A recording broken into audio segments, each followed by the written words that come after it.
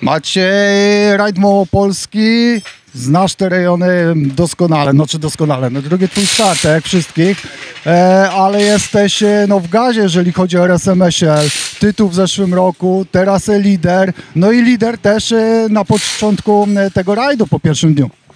No, jechało się super dzisiaj. E, Pierwsza, pierwszy odcinek Makowa niesamowicie śliski.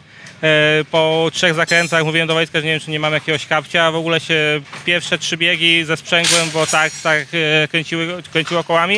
Później Styszów, e, troszkę bardziej przyczepnie.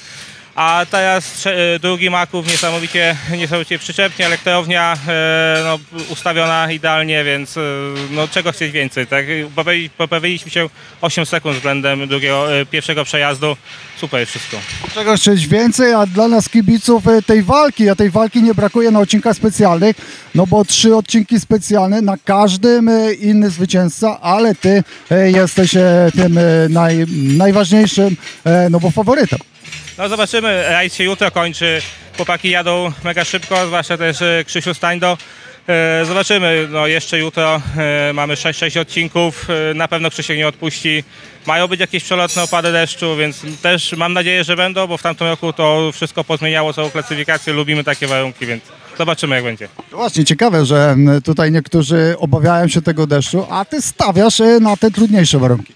Zawsze jest tak, że jak są trudniejsze warunki, to każda załoga coś więcej wynosi z tego rajdu, tak? No, kontrolnie pewnie dwa deszcze do bagażnika i będziemy na to czekać. Super, a jak chcemy odcinki specjalne, te dzisiejsze i te jutrzejsze? Yy, Względem trudności z tamtego roku myślę, że są dużo trudniejsze, zwłaszcza, że też są dłuższe.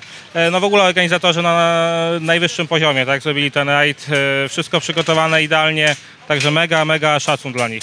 Byliśmy na odcinku numer dwa, robiliśmy tam live'a, tam przed metą e, taka dziewięćdziesiątka. Miałeś problem, żeby się tam dohamować? No chyba na pierwszym razie tam kilka razy gdzieś tam zblokowaliśmy koła, na tym przejeździe już, już, już yy, było ok.